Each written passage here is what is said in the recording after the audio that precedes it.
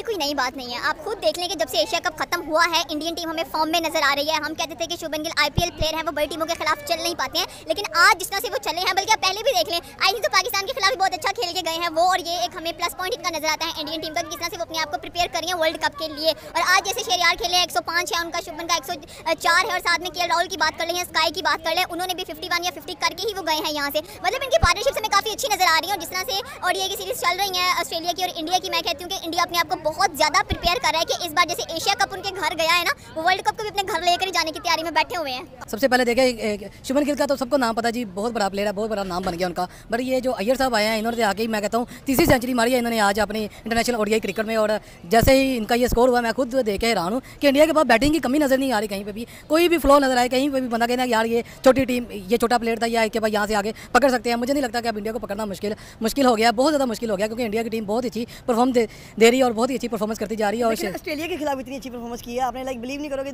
हमेशा ही Australia world cup के अंदर टॉप मोस्ट फेवरेट टीम रहती है। और वर्ल्ड कप के शुरू होने में सिर्फ़ आठ से नौ दिन रह गए हैं।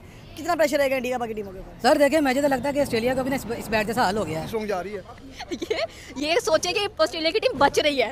ऑस्ट्रेलिया की टीम धुल नहीं रही है। हम धुल चुके हैं। हमें पता है पाकिस्तानी टीम को क्या हाल किया इन सारों ने मिलके। और आप लकी रह गए ऑस्ट्रेलिया की टीम के। आपके सामने भी विराट कोहली नहीं आया हार्दिक पांड्या ऑलराउंडर नहीं आया सोचिए, वो आ जाते तो 500 600 आपको मिलना था। अभी आप सिर्फ़ 400 की हद तक जा रहे हैं। तो मैं कहती हूँ कि लकी रह गई ऑस्ट्रेलिया टीम। हम मनी लकी है, वो लकी रह गए हैं कि उनको 400 का टारगेट दिया। लेकिन अगर ये लोग आ जाते ना, विराट, हार्दिक पांड्या और कह लेंगे जो आपने प्लेयर का नाम बताया, मैं कहती हूँ कि उन्होंने ऑस्ट्रेलिया टीम को पागल कर देना था। और ऑस्ट्रेलिया टीम ने फिर यहाँ नज़र नहीं आना था ग्राउंड में हॉस्पिटल में नज़र आना था। ड्रिप लगी हुई थी उनको। मुझे नहीं लगता कि ये 400 से ऊपर चेस कर पाएँगे।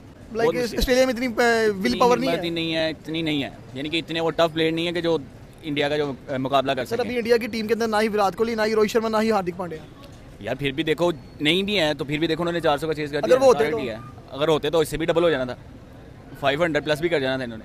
तो अभी फिर भी देखो मैं कहता हूँ कि इंडिया ने फिर भी अच्छा खेला है। चार सौ का टारगेट किया है। अब देखो आगे क्या करते हैं। यार मुझे लगता था कि स्काई ने भी सौ मार देना है पर वो आउट हो गया।